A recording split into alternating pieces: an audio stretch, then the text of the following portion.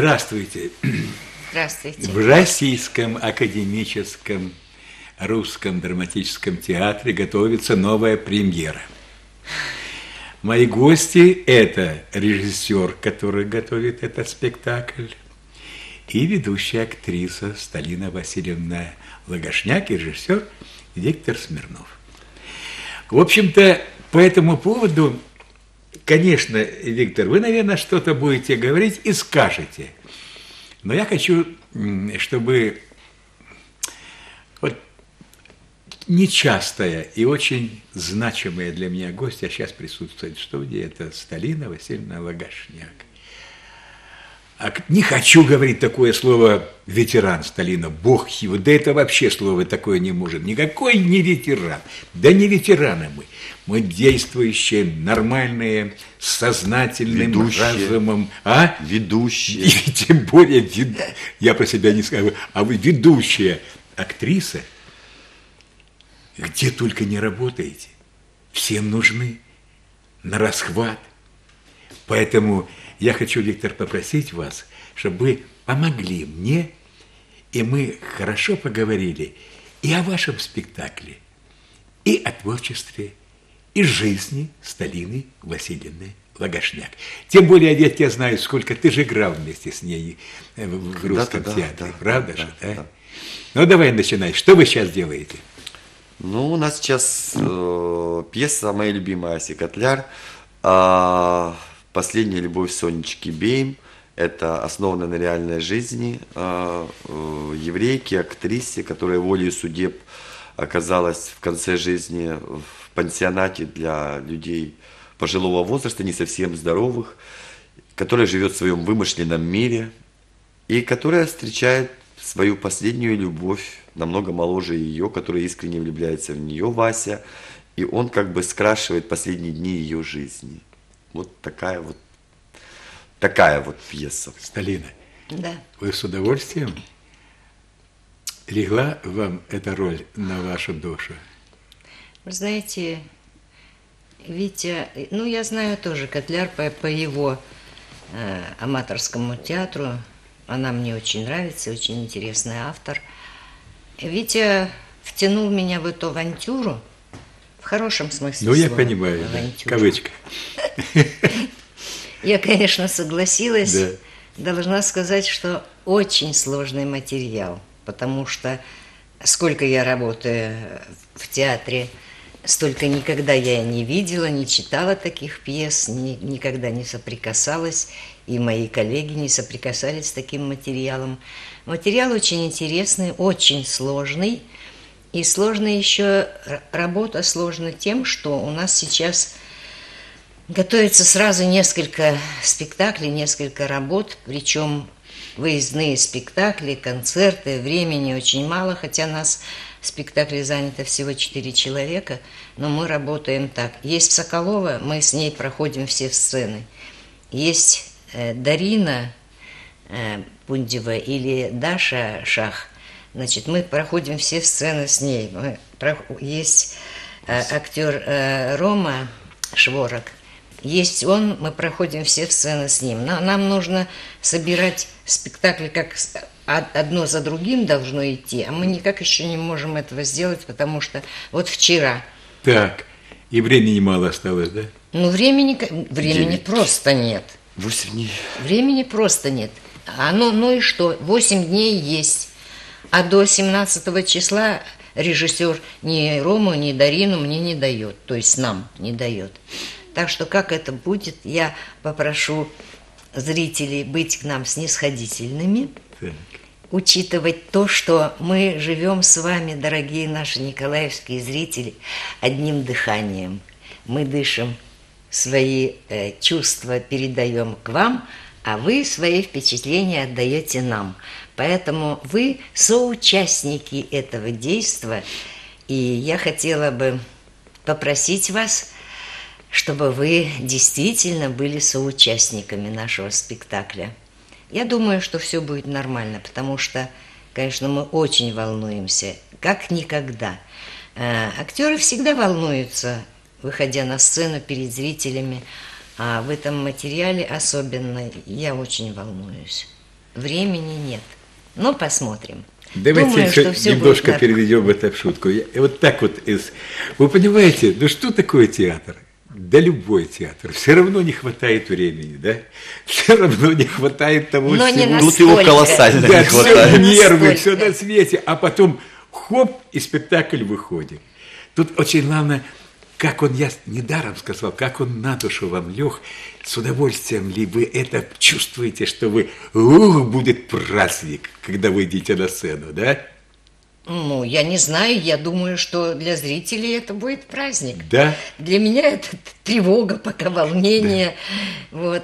А думаю, что зрителям будет праздник. Сталина, вот э, такой вопрос вообще где-то. Вы часто садились попу на, э, на свою роль или нет?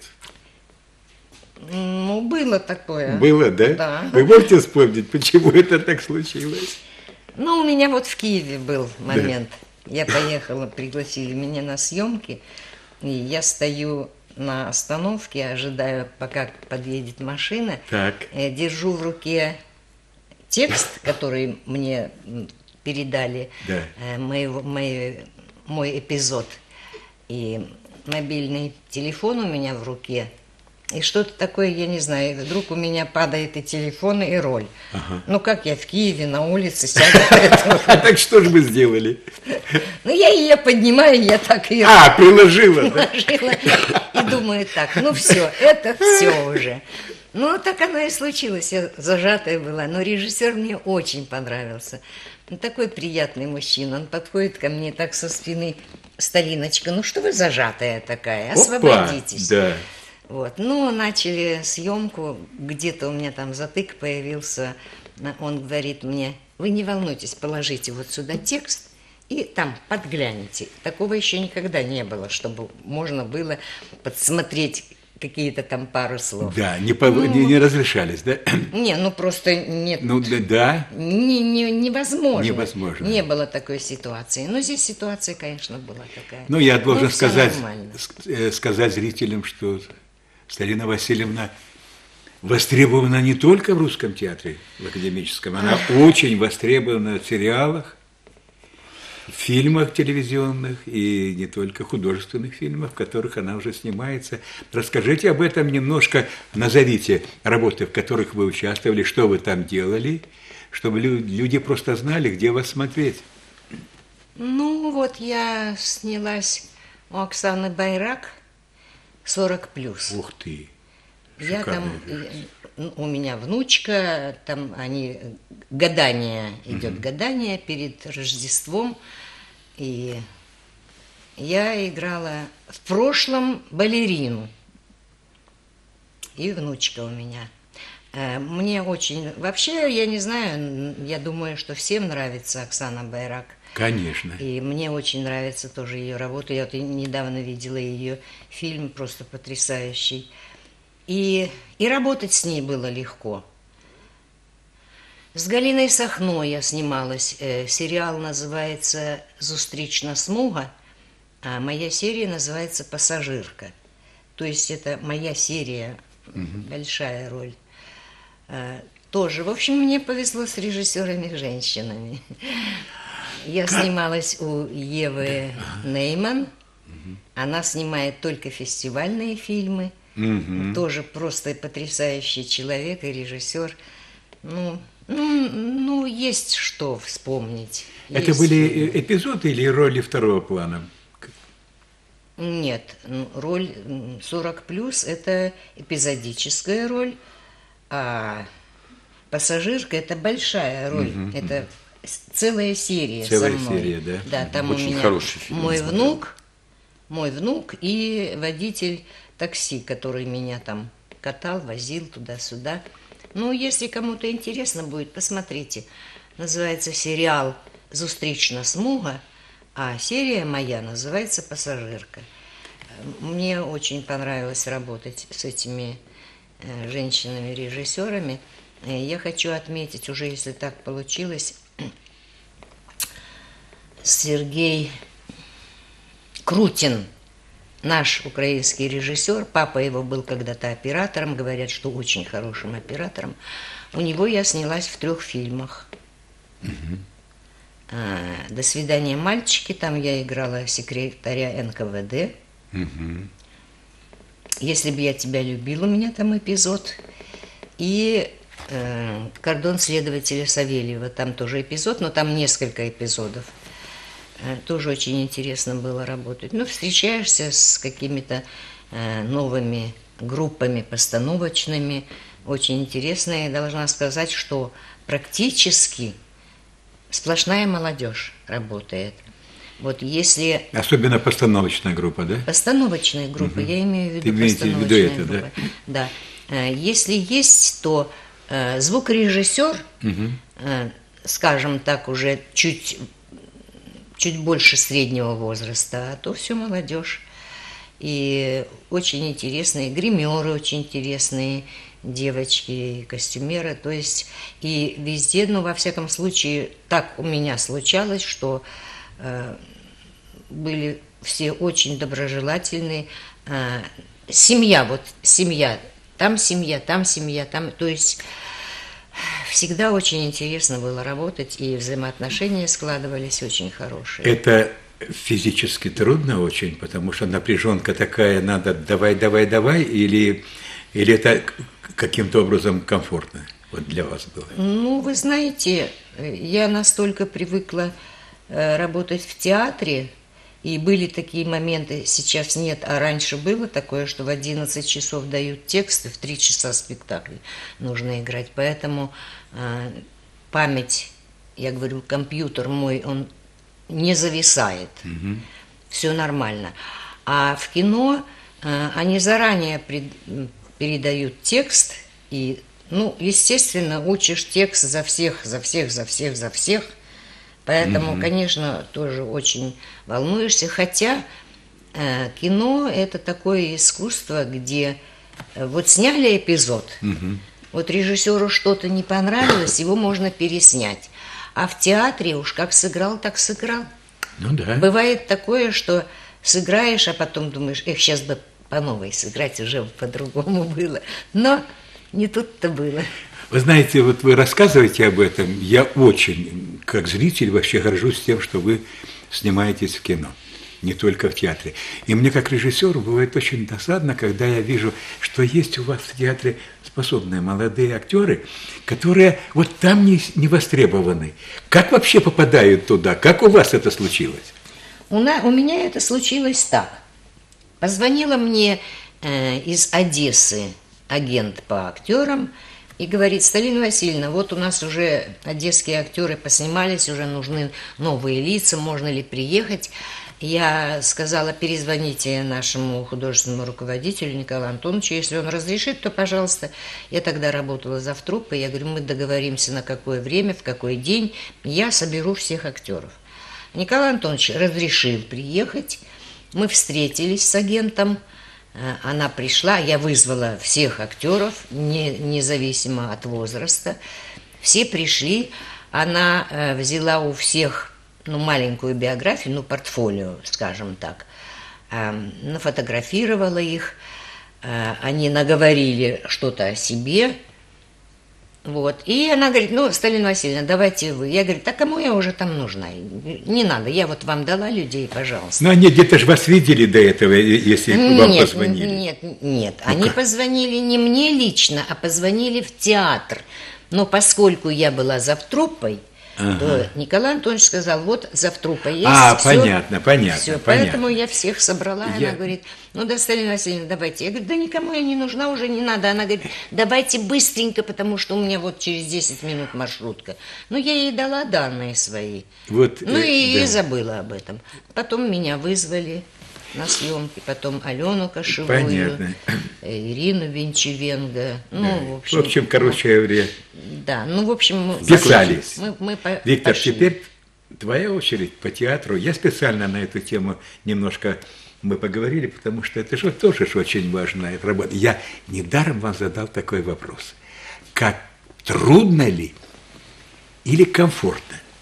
И сейчас Ну, я... я вам скажу- Вы, вы- да. Я вам скажу, да. трудно. Трудно. Но в итоге комфортно. Когда уже сыграешь там 10-15 спектаклей, уже, уже плаваешь как рыбка в воде Вот уже. понятно. Конечно же, получаешь удовольствие не от того, как ты работал, а получаешь удовольствие от того, что зрители понимают, что мы делаем. Не я конкретно, а театр, спектакль.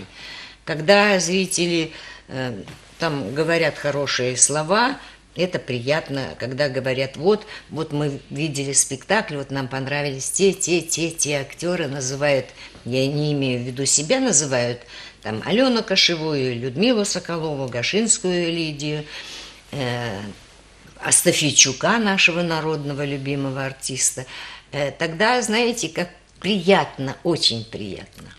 Виктор, э, сейчас, я думаю, ты найдешь какую-то такую теплую историю из театральной жизни, но потом ты расскажешь.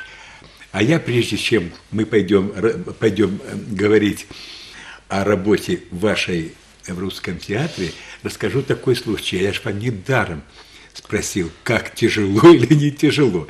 Потому что вот стоит оператор сейчас Виктор Евдокимов вот за той камерой. Он берет вас сейчас здесь вот крупно, показывает. А он мне рассказал такую историю. Вот дело в том, что он работал же у вас с заведующим чем, постановочной частью, да? И вот был такой спектакль «Берег». Да, Был такой? Да, был очень Бондарев. давно. Вы Бондарева, да? Да, да, да, да. Тогда очень популярный был этот драматург, и вы играли это все на гастролях в Витебске. Нет, я не играла в этом спектакле. Пименов ставил, по-моему. Как, а в каком вы спектакле играли? Мы сейчас проверим, в каком вы спектакле упали с, с мостков и А, потеряли это сознание. «Живи и помни». Живи и помни, да? Да, Геннадий Петрович Пименов ставил. Что ж ты, спектакль. Виктор, меня так подманул, а? Я ж при этом не присутствовал. Нет, это «Живи и помни». Но это не имеет где я- значения. Я в береге не играла. Это не имеет... Э, шла речка, Да. Э, был станок. Выйди станке- немножко ты за кадром, выйди. И я, и я, И везде. и я по станку поднимала. И я да- должна стать на эту площадку. Да. Да, Я- это был я- берег. М. Привязан к станку речка, привязана. Ну, в общем, короче говоря, на высоте где-то трех метров. Э, вращается сцена. Это коротко только, коротко. Очень коротко. Э, Тяжелейший этот э, помост, то есть начинает переворачиваться, когда Салина выходит на, на, на его край, Так. а он не закреплен оказался. Так. И то есть ее сейчас накроет. А внизу всякие штыри, и э, ничего не остается, как только прыгать туда вниз. Так. В общем, прыгает э, и теряет сознание. В это время э, дается занавес, потому что почувствовали, что что-то такое нехорошее произошло. Я бегу туда, потому что сердце замирает, у меня трое маленьких детей, а отвечаю я за то, что Да. э, там не закреплено. Сталина открывает глаза, а у нее из-под век сочится кровь. Я думаю, ну все, приехали. Ее забирают, э, и мы едем вместе с ней с э, скорой помощи, скорой помощи. Ее просвечивают рентгенами, всем на свете. Это, оказывается, большие ушибы, а роль комедийная. И вот она доигрывает. э, а- а все зрители подумали, что это был просто антракт, задуманный антракт. Закрыли занавес. Да, закрыли занавес Да, да, антракт. да, да. И доиграть всю эту, весь этот спектакль, а потом э, долгое время э, Сталина была на больничном. Так. Ну, мы это вспомнили или нет, а? Ой, я вспомнила. Да? Это совсем был никакой не берег. Это был «Живи и помни». И я когда стала вот так вот, Так. он на меня пошел. Я упала. Так. И думаю, как же мне теперь быть? Ага. Я по-пластунски там как-то попыталась, а Геннадий Петрович, он был в черном одет, он оттуда выходит и меня вот так вот вытащил за кулисы. Да-да-да-да. Закрылась занавес. Потом, как- да, мы ездили в больницу, ну, в общем, ну, конечно, больно было, да. Комедийная роль. Но она, э, она, Характерно. она характерная, потому что Да, там, и там там элементы и трагедии, и комедии. Ну, как в жизни. В жизни же и трагедийные, и коми- комические ситуации бывают. Так и у нас. Да, Вик- Да, Виктор, ну теперь тебе, давайте пого- поговори ты с, со своей партнершей, или как это можно назвать, с коллегой по театру. Вместе работали, актером ты работал, она актрисой всю жизнь работала. О чем можно говорить? Ну, обо всем можно говорить. Все в моей жизни светлое, все мои начала светлые связаны со Сталиной Васильевной, допустим. Первая, сам, самая-самая моя первая роль, я пришел в театр, Анатолий Яковлевич Читко меня взял, я там из своей несобранности не понял, кого я где играю. В итоге я оказался Пьеро. Это была новогодняя сказка «Приключения Буратино в новогоднюю ночь». Так. И вот я узнаю, а я, ну, до этого я был фанатом театра, я ночевал в нем. Все спектакли, в принципе, я знал. Я был влюблен в Сталину Васильевну, она играла в, тот, ну, в том репертуаре, тогда была «Голда», поминальная А что молитва. ты мне не говорил никогда? Олимпийки, это и так видно. Олимпийки, я вот все эти спектакли знал. И тут я узнаю, что я танцую и играю в дуэте, получается, Сталина Васильевна, она играла Артемона. И знаете, это вот такой, я себя считаю свободным человеком, а это был внутренний паралич. Мы вальс вдвоем танцевали, и я помню, как я боялся, у меня пот, наверное, не знаю, где он только не выступал. И вот она меня учила расслабляться на сцене, вот, ну, вот эта школа театра. Я помню Алеша Ванюшина, она мама, а я Алеша. Вот у нас была очень, меня сцена любил, когда я перед ней на коленях, а, деньги прошу, как бы извиняюсь за то, что я такой, и она меня любит. Вот этот образ матери, знаете, вот он всегда шел вместе, вот какой-то завтрупа она была там, ругала, защищала, вот. Театр слова Дарунок Неба, это она вытолкнула. Она приехала на встречу, мы сделали, она сказала, что вы тут сидите? А Ну давайте, выходите. И тогда это был 2009 год, мы в Южной Маске влились и пошли, пошли, пошли, пошли, опять же с ее подачи. Поэтому все мои премьеры, ну, все мои работы, я как бы, ну, как экзамен я ей сдаю, что ли, потому что я стараюсь оправдать ее доверие. Ну, она, она нам поверила, я не имею права как подвести ее. А Сонечка Бейм, когда Котляр мне прислала эту пьесу, когда я только прочитал, я сразу Сталина, то есть, ну я бы ее не ставил нигде, если бы не согласилась играть Сталина Васильевна Понятно. Лагошняк. То есть, ну, когда зритель увидит, Людочка Соколова. да, ну вот две актрисы, которые вот, я единственное попросил, говорю, Сталина Васильевна, я не знаю молодежь театра, ну, вот, как бы я не работаю в театре, мне очень сложно. Говорю, вы можете мне помочь вот на Василия и на Валечку подобрать актеров? А вот Соколова и Лагошняк, это ну, больше вот ощущение, что Котляр с них писал эту пьесу. Ага. Понимаете? Вот. Это уже зритель потом поймет, когда будет смотреть. Я надеюсь, у нас получится. Мы стараемся, чтобы зритель понял это. Ну, да, действительно сложный материал. Сталина Васильевна немножко, как бы скромно сказала, она практически все время на сцене. У нее там маленький буквально эпизод, где ее нет. Она все время на сцене. Это нагрузка и на память, и на физические действия. Это и психологическая нагрузка, потому что драма со вставками комедии. И это еврейка актриса. Это все равно вот этот притаманный, да, по-украински. Что вы делаете какой-то, вот она говорит э, изысканно на русском языке. Она и Вы- там говорит изысканно на русском языке, Но но там она, национ- вспом- она говорит о том, что она еврейка. А, она говорит, защищает свою национальность, о том, что евреи неплохие люди. Вот как бы, ну, это надо будет видеть. И вы понимаете, и я прекрасно понимаю, как ей тяжело. А, и ну, вот мое мнение, моя жизненная позиция, что нет плохих спектаклей, есть плохие режиссеры. И прежде всего, я понимаю, что это моя ответственность.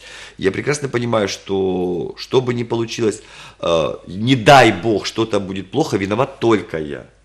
Никто другой. Поэтому, естественно. Но что хорошо работать с актерами? Вот, да, отличие от ам- аматоров, и актеры не всегда в поиске. Они на сцене, не, я на них говорю, капуши такие, не копошатся вот где-то. Я все время с Сталиной Васильевной, Сталина Васильевна, вы должны были, а я пробовала. Вы должны были там стоять, а я пробовала. Поэтому я часто молчу, и думаю, там говорю, вот закрепите, вот давайте так, там, или я говорю, конфетка за вот это, конфетка, я в последнее время стал ходить на репетиции с конфетами. Ну, давай, у нас минута осталась, полторы. Расскажи что-то под самый конец, чтобы душу согрело из театральной жизни, веселое. Ой, веселая, я, я не знаю, веселая. Только не длинное. Ну, я не знаю, веселая, даже сейчас не скажу. Вот сейчас у нас работает студия детская. Для меня это О! самое веселое, Вот потому вот. что это люди, это дети, от которых я черпаю энергию. Кстати, они будут задействованы в этом спектакле. Мы не скажем где, это будет сюрпризом. Но это у меня всегда дети, они меня окрыляют. После них хочется жить, летать, парить и делать что-то светлое ради тех же детей. И это будущее, надеюсь, как минимум николаевские интеллигентные актеры, как максимум хорошие актеры театров Украины и зарубежья. Вы что хотите сказать? У вас полминуточки Я есть. хочу сказать, я очень люблю Николаев, я живу здесь с 66 года. Я очень люблю этот город, Он родной мой, этот город. Я очень люблю всех зрителей, которые к нам приходят в украинский театр, в наш театр. Есть люди, которые любят и украинский театр, и наш театр, и театр кукол, прекрасный театр кукол. Я желаю вам всего самого доброго. Я желаю вам здоровья, я желаю вам хорошего настроения, я желаю вам, ну, ну, ну, ну чего пожелать? Ну вот всего, что можно пожелать людям, что можно пожелать себе, что можно пожелать своей семье, вдохновения, хорошего настроения, хороших впечатлений. Приходите, любите наши театры. Наш город, в общем-то, небольшой, нас актеров мало. Я уверена, что многие жители нашего города знают всех артистов украинского, русского и театра кукол. Мы вас любим, приходите к нам. Ну, аналогично, как говорят в простонародье, да, вот я бы хотел бы вам то же самое сказать. Но так вот, вы уже сказали, вот точно так же. Пойдем 23-го в 6 часов смотреть ваш спектакль в русский театр. Спасибо. Это еще день рождения Сталина Васильевна. Да ну ладно. А, уже сказал. Вот это все. Хорошо, хорошо, все, все. Остановились на этом, закончили передачу. Спасибо, что пришли. До свидания. До свидания. Спасибо, что пригласили.